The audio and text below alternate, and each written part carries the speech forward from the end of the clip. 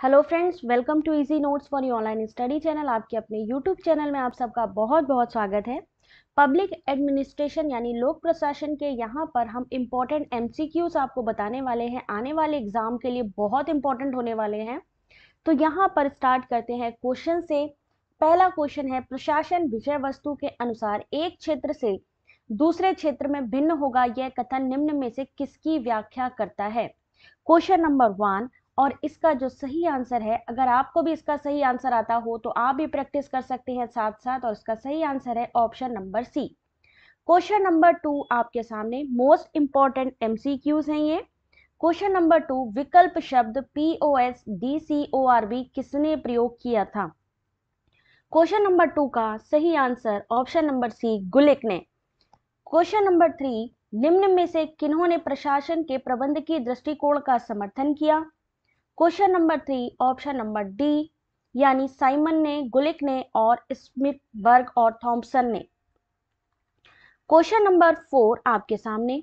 प्रशासन में वे दस्ती, लिपिक प्रबंध की और तकनीकी गतिविधियाँ शामिल हैं जो एक उद्देश्य को पूरा करने के लिए की जाती हैं। ये हैं क्वेश्चन नंबर फोर का ऑप्शन नंबर डी, प्रशासन का प्रबंध किया दृष्टिकोण। देखते जाइए, बहुत ही इंपॉर्टेंट क्वेश्चन है। लोक प्रशासन के पॉलिटिकल साइंस में ये यूज़ होंगे। क्वेश्चन नंबर फाइव कौन कहता है कि लोक प्रशासन में केवल सरकार की कार्यकारी शाखा के काम शामिल होते हैं? इसका सही आंसर है option number C Luther Gulick question number six लोक प्रशासन के बारे में निम्न में से कौन सा कथन सही है? यहाँ कथन दिए गए हैं और इसका सही आंसर है। इनमें से आपको आंसर चूज़ करना है और सही आंसर ये सभी हैं। यह सरकार के मामलों का प्रबंधन है, गैर राजनीतिक नौकरशाही यंत्र है, राजनीतिक परिवेश में काम करता है और सरकार का गतिविधि भाग है। क्वेश्चन नंबर सेवन, प्रशासन का सरोकार कामों को करवाने से है, परिभाषित उद्देश्यों की प्राप्ति के साथ यह कथन किसका है? तो लूथर गुलिक का ये जो है कथन है। क्वेश्चन नंबर एट लोक प्रशासन में सरकार की सभी गतिविधियाँ शामिल हैं? और यहाँ पर ऑप्शन है कि चाहे वह विधान शाखा का हो, कार्यकारी शाखा का या सरकार की न्यायिक शाखा का, इस कथन से झलकता है क्या क्वेश्चन नंबर एट का ऑप्शन नंबर बी प्रशासन का व्यापक दृष्टिकोण। क्वेश्चन नंबर नाइन निम्न में से किन्होंने प्रशासन के समग्र दृष्टिकोण का समर्थन किया?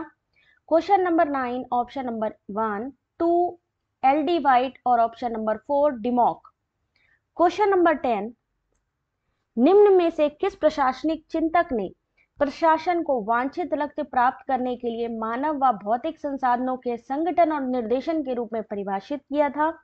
Question number ten option number B Pfiffner ने।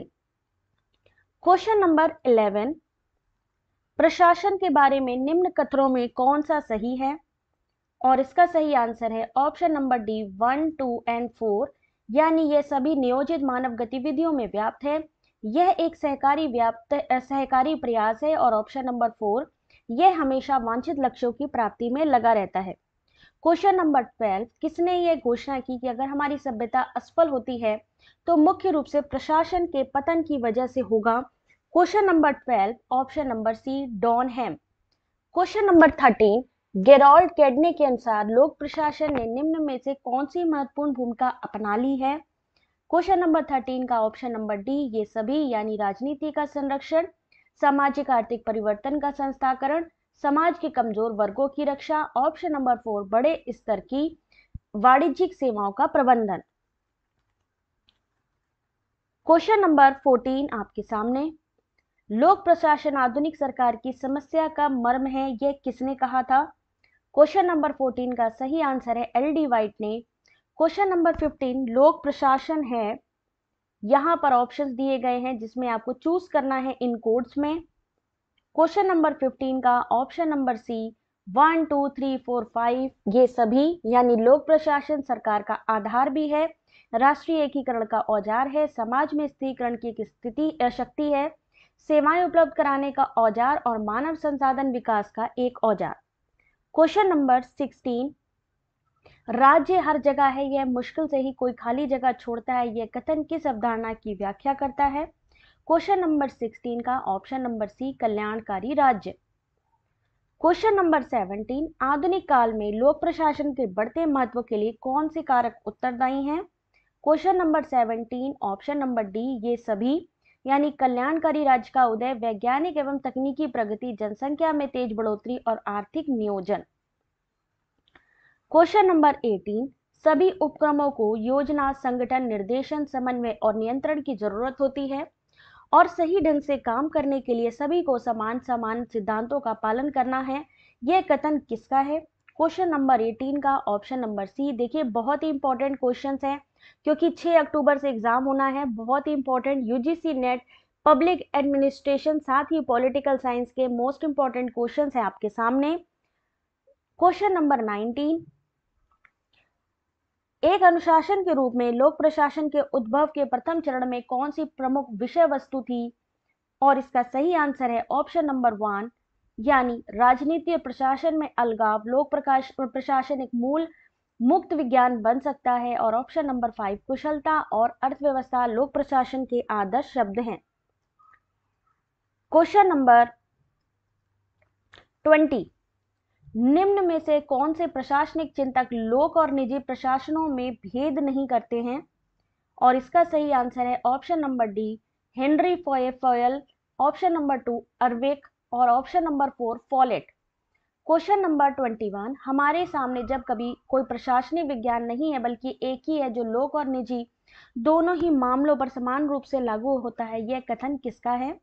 क्वेश्चन नंबर ट्वेंटी वन का, option number B, Henry Fayol. Question number twenty two. निम्न में से किन प्रशासनिक चिंतकों ने लोक और निजी प्रशासनों में भेद का समर्थन किया? क्वेश्चन नंबर ट्वेंटी टू, और इसका सही आंसर क्या होगा? ध्यान से देखिए और इसका सही आंसर बताइए कि क्या होगा। ये आपका टास्क है आज का, और इसका आंसर आपको बताना है कि इसका आंसर क्या होगा। क्वेश्चन नंबर ट्वेंटी टू का। मिलते हैं नेक्स्ट वीडियो में। Thank you so much.